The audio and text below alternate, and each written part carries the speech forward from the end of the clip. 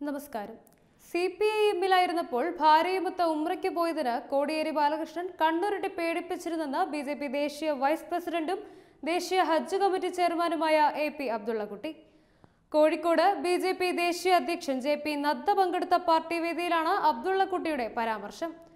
ഉമ്ര കഴിഞ്ഞ് തിരിച്ചു വന്നപ്പോൾ താൻ എന്ത് കമ്മ്യൂണിസ്റ്റ് ആണെന്നും കമ്മ്യൂണിസ്റ്റുകാർ അങ്ങനെ ഉംറയ്ക്ക് പോകാറുണ്ടോ എന്നും കോടിയേരി ബാലകൃഷ്ണൻ കണ്ണുരുട്ടി സംസാരിച്ചതായി അബ്ദുള്ളക്കുട്ടി ആരോപിച്ചു. ഓരോ വിഷയത്തിലും വ്യക്തമായി നിലപാടെടുത്ത ഭരണാധികാരിയാണ് നരേന്ദ്രമോദി എന്നും അബ്ദുള്ളക്കുട്ടി കൂട്ടിച്ചേർത്തു. നരേന്ദ്രമോദി അധികാരത്തിൽ വരുന്നതിന് മുമ്പ് എം എം ഹസനെ പോലുള്ള വി ഐ പികളെ സർക്കാർ ചിലവിൽ ഹജ്ജിനെത്തിച്ചതായും അദ്ദേഹം ആരോപണം ഉന്നയിച്ചു. മോദി അധികാരത്തിൽ വരുന്നതിന് മുമ്പ് ഇവിടെ ഒരു സംവിധാനമുണ്ടായിരുന്നു. അതിന്റെ ഭാഗമായി ഗുഡ്വിൽ റെലിഗേഷൻ എന്ന പേരിൽ ഒരു വിമാനം നിറയെ എം എം ഹസനെ പോലുള്ള വി ഐ പികളെ സർക്കാർ ചെലവിൽ ഹജ്ജിലെത്തിക്കുമായിരുന്നു. എന്നായിരുന്നു അബ്ദുള്ളക്കുട്ടി പറഞ്ഞത്. ഏറ്റവും അവസാനത്തെ വിമാനത്തിൽ തിരിച്ച് ആദ്യ വിമാനത്തിൽ ഏഴ് ദിവസത്തിൽ മടങ്ങിയെത്തിയിരുന്നതായും അദ്ദേഹം ആരോപിച്ചു. സർക്കാരിന്റെ ഫണ്ട് കട്ടുമുടിച്ചു പോകുന്ന ഹജ്ജ് ഹലാലായ ഹജ്ജല്ലെന്നും അത് ഹറാമായ ഹജ്ജാണെന്നും അദ്ദേഹം പറഞ്ഞു. ഹജ്ജിന്റെ പ്രാഥമികമായ മാനദണ്ഡങ്ങൾ പോലും ചോദ്യം ചെയ്തുകൊണ്ടുള്ള നടപടികളായിരുന്നു ഇവ എല്ലാമെന്നും അബ്ദുള്ളക്കുട്ടി ആരോപിച്ചു.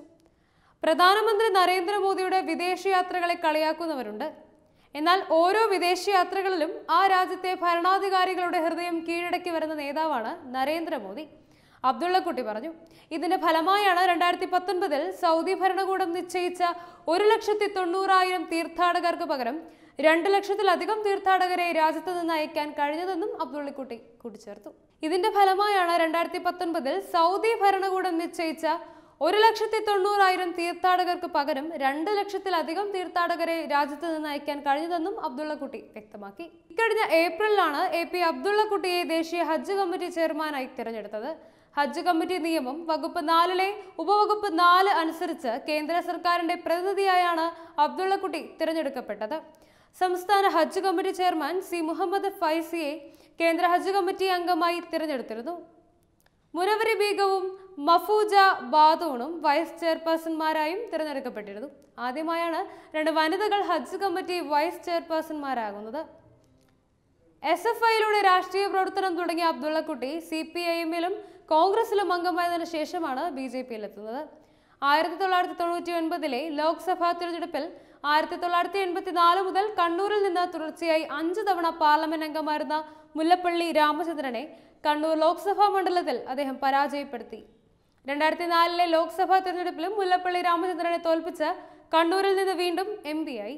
രണ്ടായിരത്തി ഒൻപതിൽ നരേന്ദ്രമോദി ഗുജറാത്ത് മുഖ്യമന്ത്രിയായിരിക്കെ. അദ്ദേഹത്തെ പുകഴ്ത്തിയതിനാണ് സി പി എമ്മിൽ നിന്ന് പുറത്താക്കിയത്. പിന്നീട് കോൺഗ്രസിൽ ചേർന്ന അബ്ദുള്ളക്കുട്ടി പത്ത് വർഷം കോൺഗ്രസ് എ ആയി. രണ്ടായിരത്തി പത്തൊൻപതിലായിരുന്നു ബി ജെ പിയിലേക്ക് അബ്ദുള്ളക്കുട്ടി എത്തിയത്. Web desk Tatwamayi news.